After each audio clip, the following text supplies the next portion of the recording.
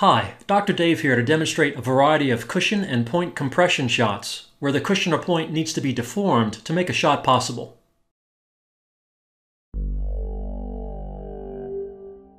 Let's start with the classic kick out of a frozen trap.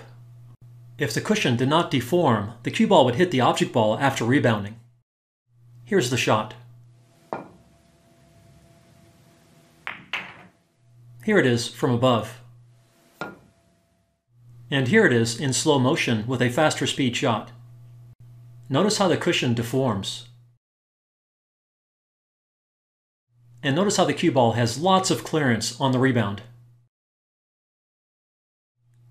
At a more shallow angle, it is even easier to clear the obstacle. But here, backspin is required to bend the cue ball to the target.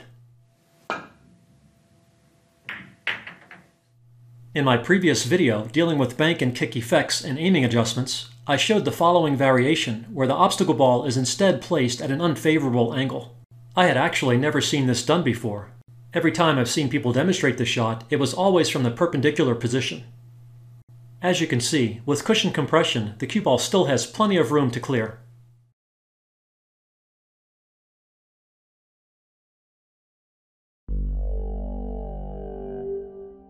You can also kick through a gap that seems too small, like this. There is only a ball width gap to go through. Without cushion compression, it would be impossible to get through clean. With a shallow angle, you don't even need much speed, as with this two-rail kick at the 8.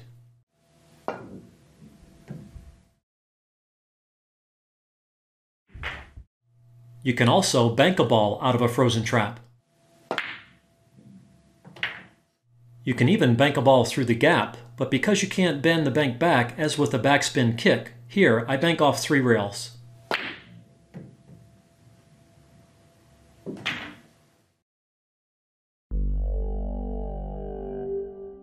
Here's another fun cushion compression shot, the old knock a coin into a glass trick.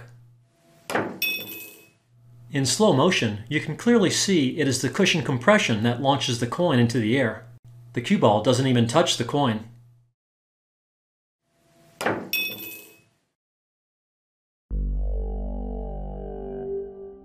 This shot is from the Video Encyclopedia of 9 ball and 10 ball, or VENT. The 6 is frozen to both the cushion and the 8, so it looks like there is no way to combo the 8 into the corner. However, with enough speed, the 6 will compress the cushion enough before hitting the 8 to change the angle of the hit. Freezing the video frames, we can see the action of the shot. Here, you can see the blur of the 6 as it compresses the cushion and comes into the 8 at the right angle. And here, we can better see the line at which the 6 comes off the cushion.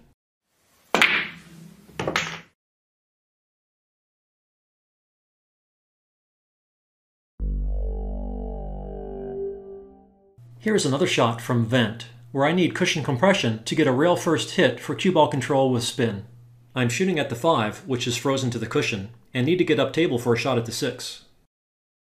The right play here is to stun across the table with left side spin to send the cue ball up table off the opposite cushion. If I hit the 5 first, or hit the 5 while compressing the cushion, the side spin will take on the cushion after the hit, causing the cue ball to head down table, where I might hit the 8 or 9. So here, I need to hit the cushion first, hitting the 5 after the cue ball has mostly rebounded off the cushion. Here's the shot.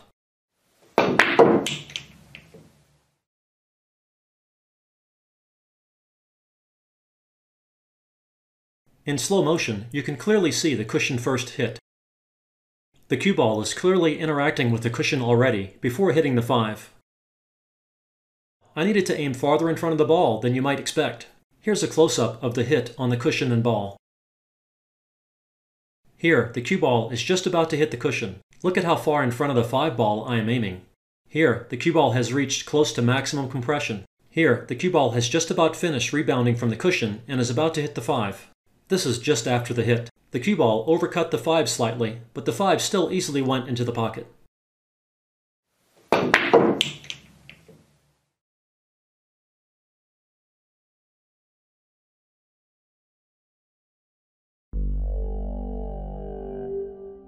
Here's another good example where I can use cushion compression to make a shot not otherwise possible. The 13 blocks a direct look at the 8. The closest I can get, if I barely miss the 13, is here. At slow speed, there is no way to pocket this ball. But with enough speed, the cue ball compresses the cushion, just like in the last shot, and we can get the 8 for the win. Here it is, in slow motion.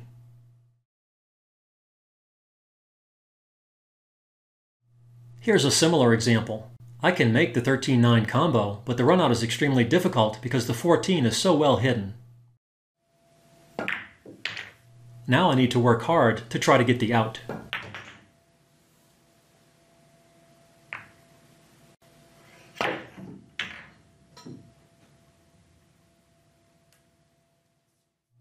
That was a good effort, but it didn't work out.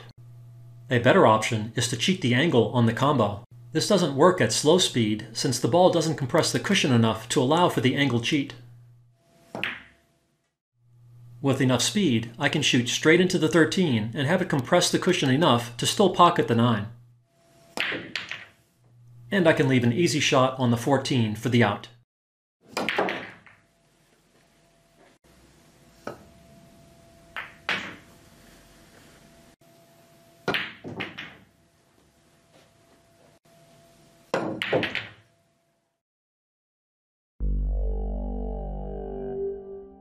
With bank shots, one must always be aware of possible double kisses. Here, I am trying to bank the 8 cross-side. Even at fast speed, the double kiss is very difficult to avoid. Here, an option is to use very fast speed and overcut the ball slightly to go twice across like this. If that pocket were blocked, I could even go across three times, like this.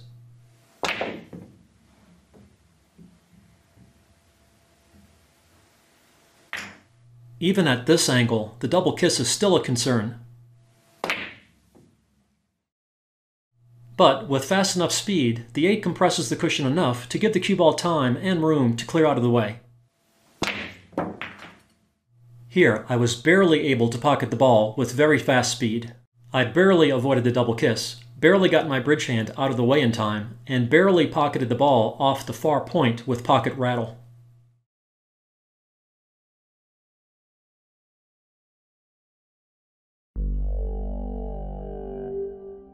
If I shift everything toward the side pocket, you might think the double kiss is unavoidable since the bank angle is now steeper. Here's an example double kiss. However, because the 8 is so close to the pocket facing, which is stiffer than the cushion material, I can overcut this some. With enough speed, the cushion compression allows the cue ball to clear, and the stiff pocket facing helps shorten the bank angle. You need to overcut this shot way more than you might think is possible for the bank. Again, the stiff, pocket-facing material causes a much steeper rebound angle than normal.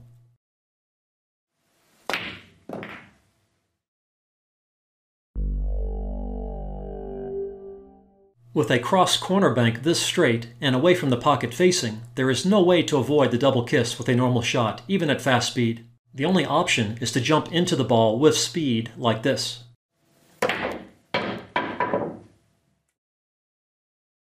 The fast speed causes the 8 to compress the cushion to give the cue ball time to rise up a little with the above equator hit. The 8 still double kisses the cue ball, but it retains enough speed to keep going toward the pocket. This is a really tough and low percentage shot, and I was not able to pocket it after about 15 attempts. Here are my best attempts.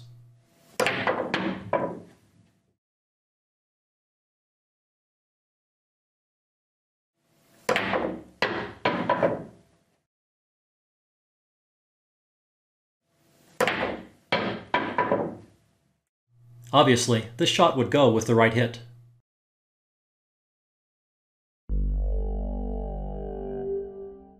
Now let's look at some point compression shots.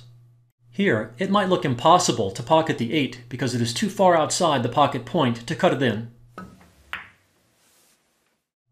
However, with enough speed, you can compress and drive the ball through the point into the pocket. That went in easily.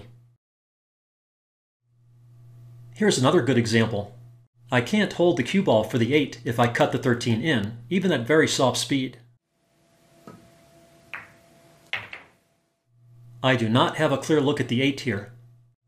You might think I could cheat the pocket and hold the cue ball, but it doesn't work at slow speed. But at fast speed, I can compress the point and drive the ball through while holding the cue ball for the 8.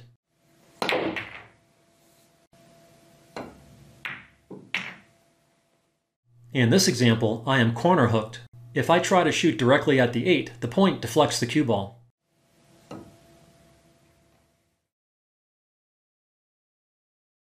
I could hit a swerve shot to curve around the point.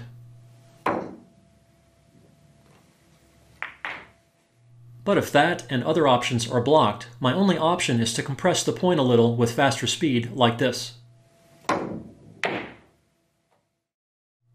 To show you that I don't always make my shots on the first attempt while filming these videos, here are my previous attempts where the pool gods were obviously against me.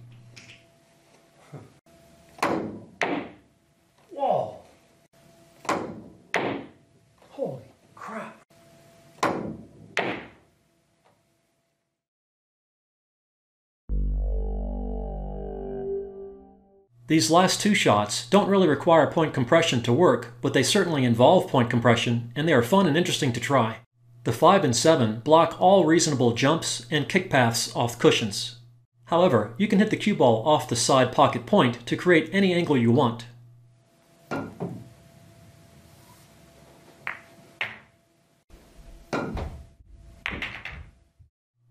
These shots are actually not very difficult after a little practice. I hope you enjoyed my collection of cushion and point compression shots, and I hope you learned a few new tricks to add to your arsenal. For more information and demonstrations, see the links in the video description. I want to thank Bob Jewett for providing some useful suggestions for several of the shots in this video. Good luck with your game from Dr. Dave.